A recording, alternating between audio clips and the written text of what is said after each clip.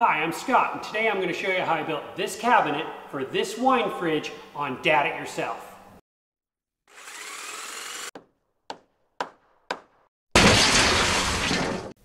So you saw from the intro that I'm building a cabinet for a wine fridge. And to call this a cabinet is a gross overstatement. It's really just a box around a refrigerator so they have a place to put a small countertop. This is going to be a relatively easy and quick project using a couple of pieces of MDF, this small piece of plywood, some glue, and some 18 gauge brad nails.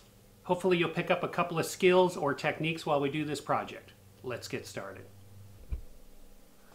So the first step on this project is I'm going to rip this piece of 3 quarter inch plywood down into 3 inch strips and those are going to be used for the blocking on the top and the back to give this structure.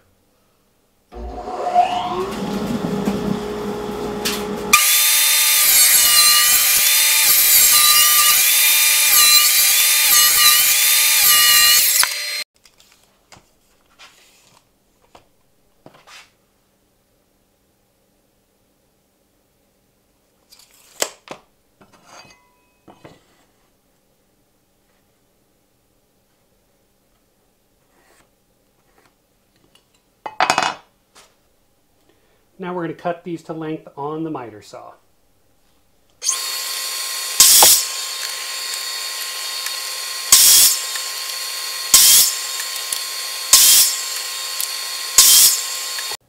So I'm really fortunate that these MDF sheets come in 24 by 48 and the cabinet's 24 inches deep so I just have to cut off 14 and a quarter inches. What I'm going to use is this Kreg rip cut jig with a Ryobi cordless saw some hearing protection, and when you're cutting MDF, you definitely want to wear dust protection.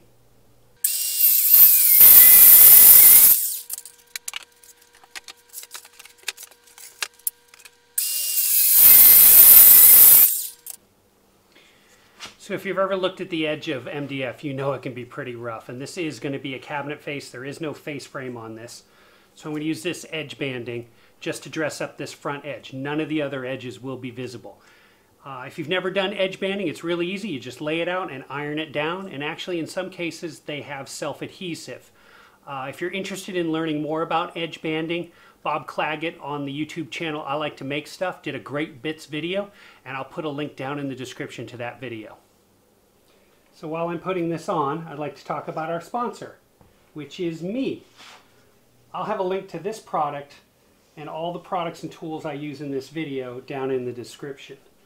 And by using those links and shopping on sites like Amazon and Home Depot, uh, I receive an affiliate commission, and those commissions help support Dad It Yourself DIY. So if you'd use those links to buy products, I'd really appreciate it, and it helps the channel out. Thanks a bunch.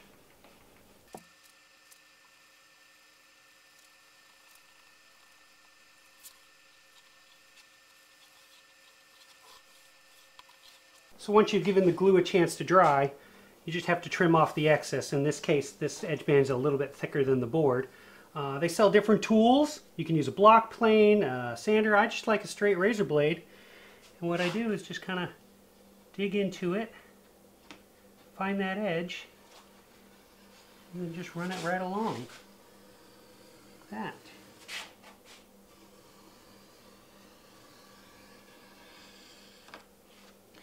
And if for some reason a little bit of this edge maybe comes up or didn't glue down, just hit it with the iron again.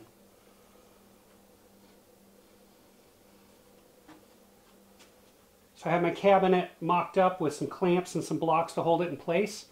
I have my brace right here. I'm going to put this in with glue and 18 gauge brad nails. Let's put that in.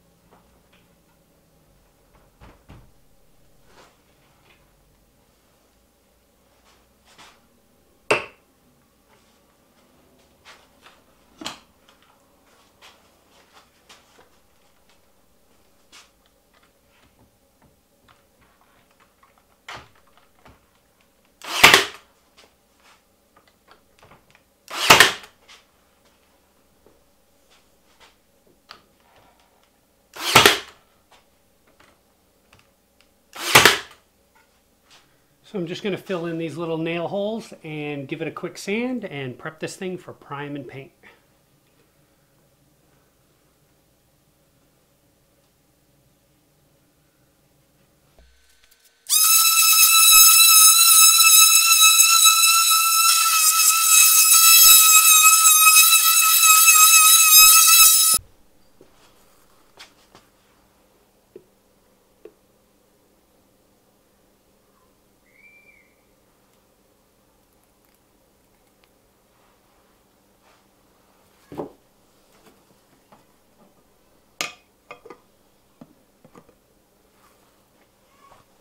So I've got my Wagner Flexio 2000. I'm going to go ahead and spray this with two coats of primer and sand it if needed and then move on to the satin white paint.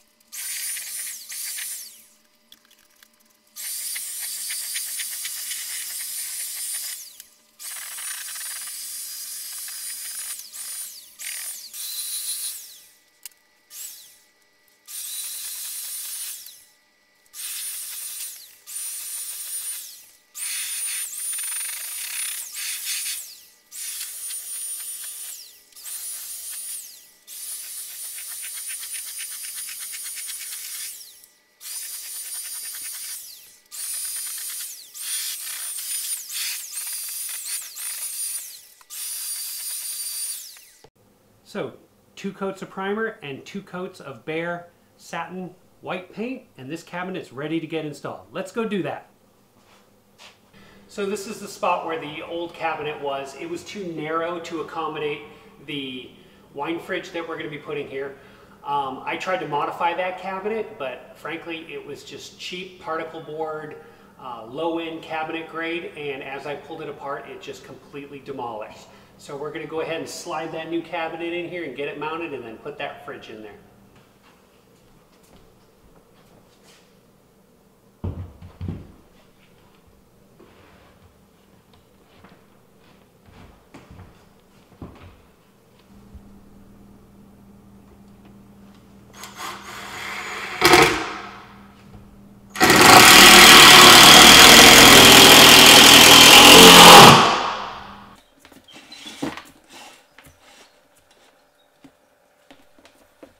So I built this cabinet in an afternoon in my garage shop using two 2x4 sheets of MDF and a couple of scraps of 3 quarter inch plywood. The longest part of doing this project was waiting for that paint to dry. You'll notice this cabinet doesn't have a countertop on it. It's because they're coming to template for countertops tomorrow. That's why this needed to get installed today. If you have any questions, comments, or suggestions, put those down below. Speaking of comments, don't forget to like, share, and subscribe. And if you subscribe, hit the bell for notification. I've got some videos over here you may be interested in, and the subscribe button's right over there. Thanks for watching. Dad it yourself.